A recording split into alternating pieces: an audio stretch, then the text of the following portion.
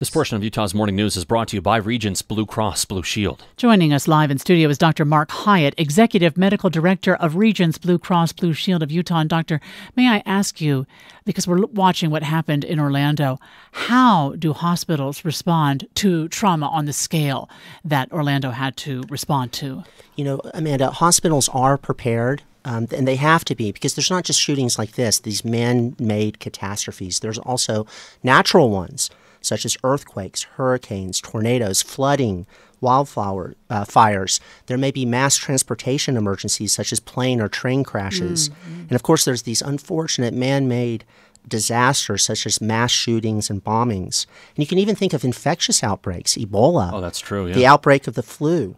And we haven't even named uh, such things or seen such things as radiation, chemical weapons, and biological weapons. So, hospitals across our country are aware of these potential catastrophes and do prepare. Many of them have special security officers who have plans in place. You've worked in an emergency room before. T- talk to about uh, the protocol for how these kinds of mass casualties change a little bit. Sure, and, and the issue there, Brian, is just as in, in ERs for you know conventional type mm-hmm. tragedies that we all personally have at times in our lives, the same concept of triage applies. You really try to triage and emergently take care of those who need the help the most. And so, what typically hospitals will do is set up a hospital command center and determine if the facility should be locked down or given limited access and then you proceed accordingly. Hmm. So, all hospitals of every size train for something uh, of, of this nature, doctor, or only larger hospitals? Um, I think it really depends on the hospital, not so much the size. Most large hospitals do have such plans in place.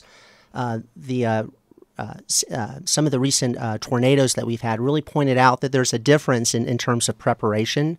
Um, but I think increasingly hospitals do have those plans in place. And I can't even imagine the psychological aspect of being one of these, you know, care workers of having to deal with somebody involved in one of these mass shootings mm-hmm. or whether it's, you know, regardless of what it is, you literally have to put, I guess, your feelings aside. No time to cry right now. You've really got to get to work. Yeah, you see a lot of sad cases. There's just no time to let your emotions get in the way of your actions. Mm-hmm. Thank you for this insight to, to what uh, we've seen happening. This portion of Utah's Morning News brought to you by Regence, Blue Cross Blue Shield on the KSL In Depth at 15 and 45.